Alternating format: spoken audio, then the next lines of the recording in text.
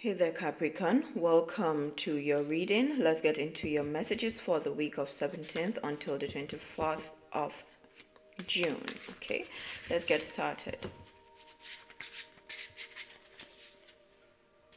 Ace of Pentacles. What do we have? Two of Pentacles. Hmm. You're showing up strongly here. Okay, so there's something that feels like a new beginning here, a revival of your energy, something that feels solid. And this is like something is being taken and put into the heart of this tree. And this tree is you. So it's like as soon as this is put in, these leaves are flourishing. Wow. So there's something about your manifestations and new beginnings. And the Two of Pentacles is as above, so below. Feminine and masculine, yin and yang. There's that reflection, manifestation. Capricorn, you're a master manifester. Or there could be someone in your energy who is like this. Queen of Wands.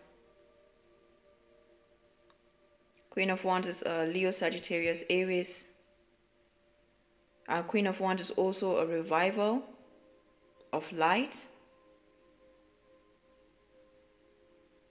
Hmm, the Queen of Wands is, wow. There's something about the conjuring, like calling in something.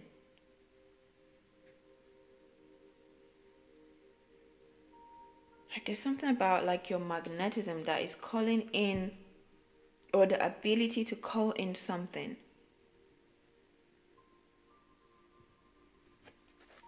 At the bottom of the deck, we have Three of Cups, cause for celebration. So it could be that something you've been calling in is like in the form of a prayer, visualization, manifestation. You're being guided to keep up with that vibration. So it's like you've been keeping up the vibration for something. It could be to do with your finances, your well being, all in all is that solar plexus, the confidence, the knowing. And if not, and I received this message just yesterday before going to bed, and it's for you that if not for the journey, if not for the choices you have made, then you wouldn't be where you are today. Now, you may be seen as this fiery person, like this Queen of Wands, but then that is exactly what has brought you to this point. Yes, it's tiring. You feel exhausted, but you don't look like that. You actually look like someone who things come to. And that in itself has brought you to this point. Yeah, so there's something about your the journey you have been on and for as long as you've kept going with your truth, you could have been told stuff like, yeah, maybe you're doing it on your own, or like, uh, it's like you've had to isolate yourself to do this. You've had to keep going. It's not like not asking for help, the help has come where it needed to. You just had to keep going with that fire. The fire within.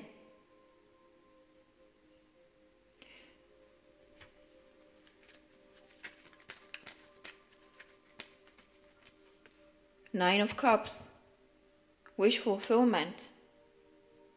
With the Ace of Pentacles, so there is something new, there is something that is cooking up here. On the, oh, okay. Okay now two queens, like the same queen of wands, like this is double confirmation.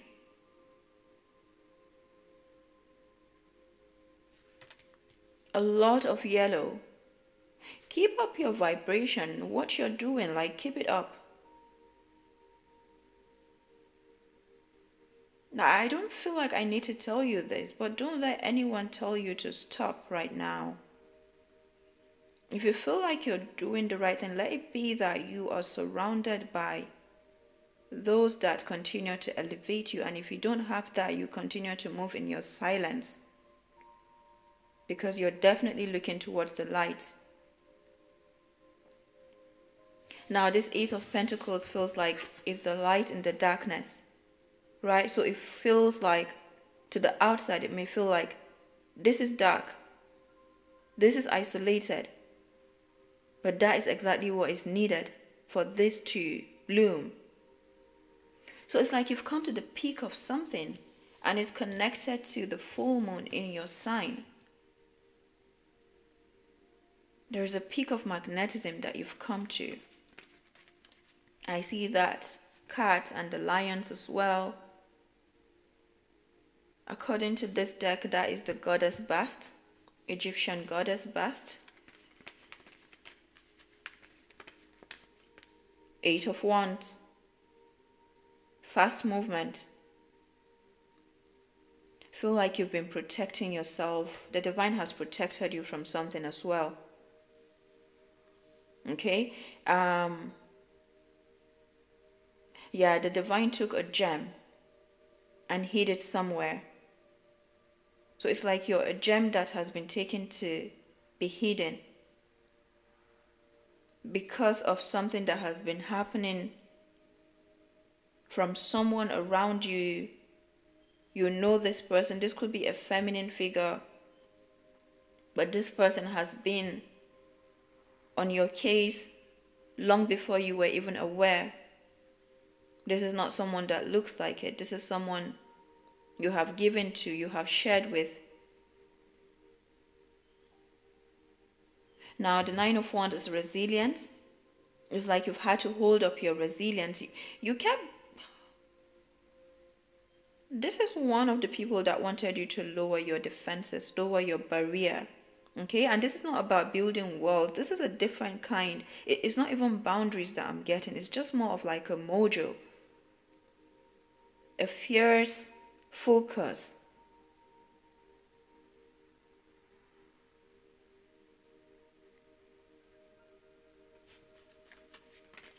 Two of Pentacles, the Star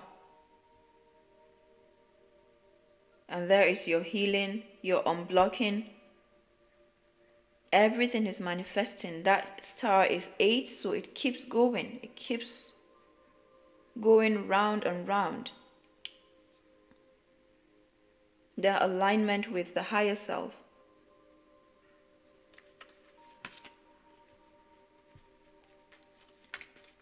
You could be doing a lot of core work here a lot to do with the abdominal area, diet. But whatever you are doing, keep it up. It's no easy work. Three of Wands. Now, is this is what you're doing that is helping you to to stand, to stay rooted in the knowing that what is for you is coming in. Your ships are coming in. Because you've put in so much work in the below. Now there seems to be something that has tried to cause the uh, like cause a blockage here. See that? And yeah, the divine is is working with you. So there's even nothing to worry about. That's why I keep getting like you you've been on that journey like you wouldn't have been where you are today if not for the journey. So it's like the work you have been putting in the below has been protecting you from stuff that has been sent by someone on the outside. Like this person has targeted you long before you even started to bear fruit. They knew your light.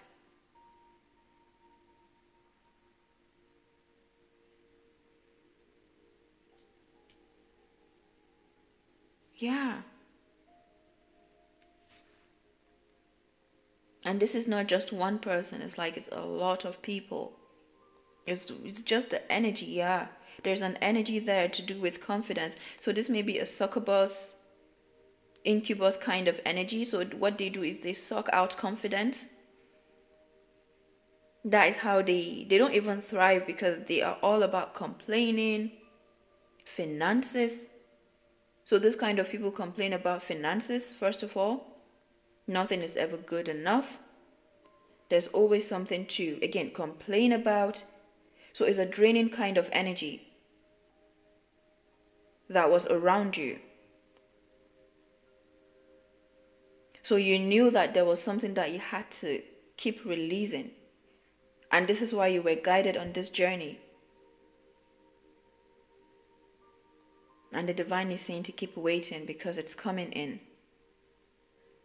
Like that above, the reflection of the below on the above is coming in. It's like a lot of work that you've had to put in your below and you're putting in has been filling up a lot of spaces. Wow, Capricorn, back to those spaces. And now you've come to the peak of that. Wow. Two of Pentacles. Capricorn, this is like pure alignment. As above, so below.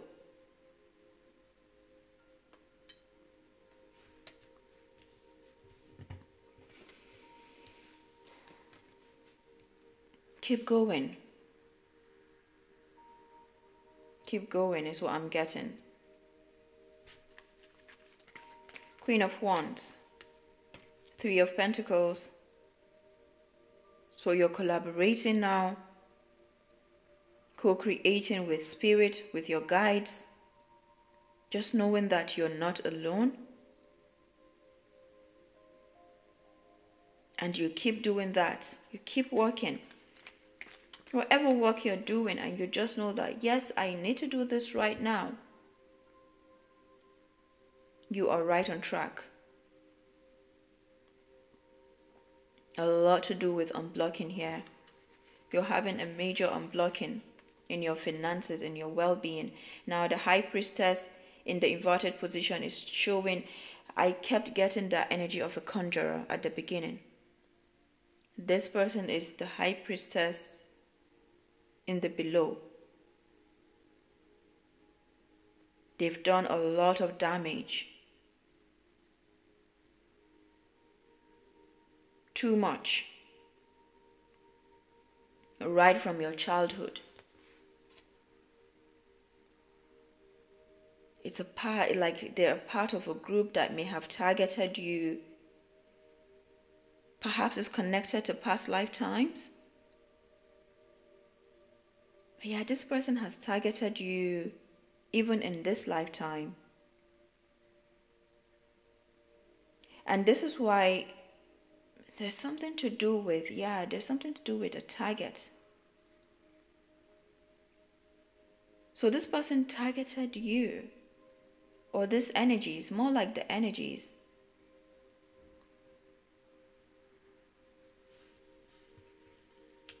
And it's regarding something about your gifts. So you see, you have this gift even in the below.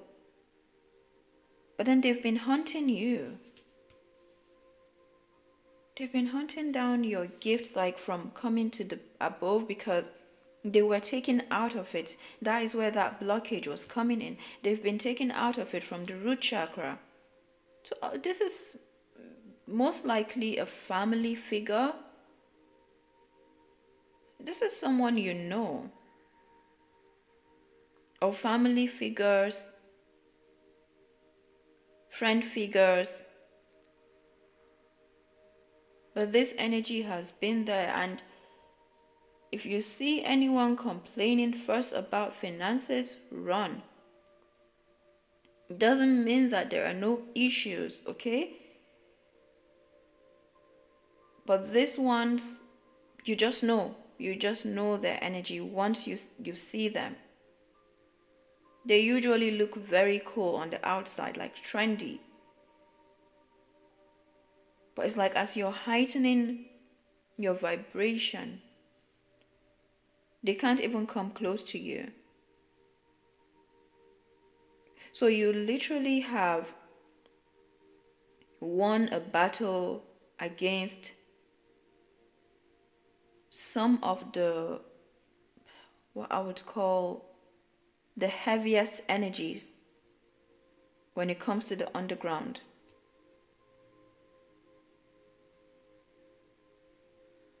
You're winning a battle. Like one, wow. Like one person against many.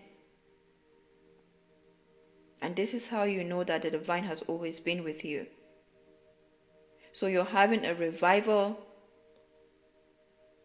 and a major unblocking in your finances, your career. Um, well, yeah, but especially your source of energy, your life force. You've always been a master manifester. So everything that came at the beginning is also connected to you. Things have come to you when you've called them in. But they try to take that away from you. It's like you could be remembering as well now of how really you have always been a master manifester. Like what happened? Because they tried, they tried you, they tried to make you to forget. They didn't even want you to forget. It's like by taking those bits of you, you would naturally forget. And now you are remembering.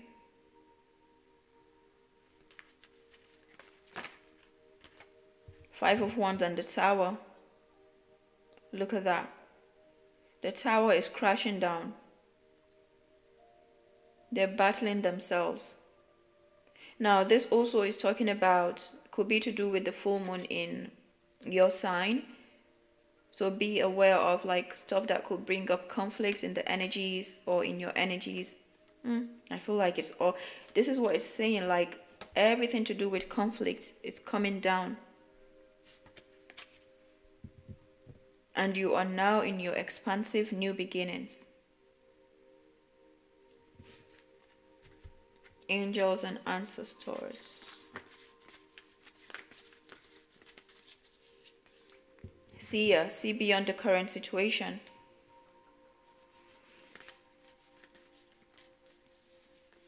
Moon, take note of intuitive messages.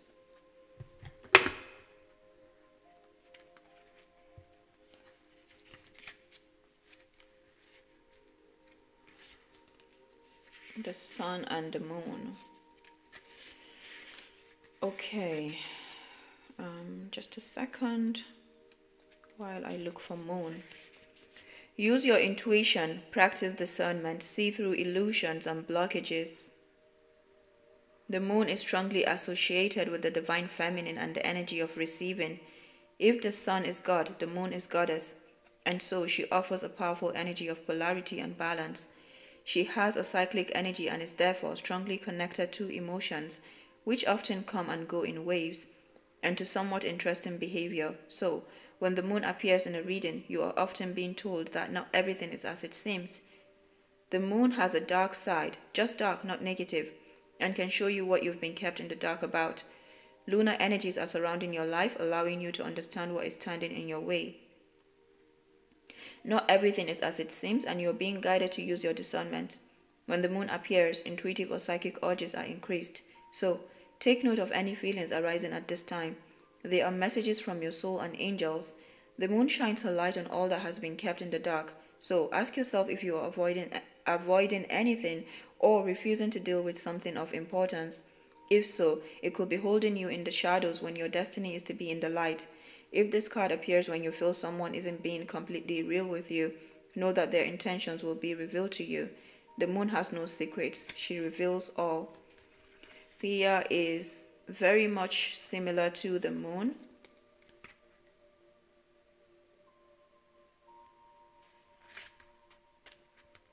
Okay. See, look beyond the current situation. Raise your vibration and focus on love. Clairvoyance isn't just about predicting the future. It's it's about being able to see clearly enough to create your best future. You are being encouraged by your ancestral guides and angels to see beyond what you think is happening now. Angels of light are upgrading your energy so that your experiences can be more enjoyable. You are moving towards something extremely uplifting and enlightening, so stay calm and keep your eyes on the prize. Wow, Capricorn. I'll come back with more videos during the week and do take care. Bye bye.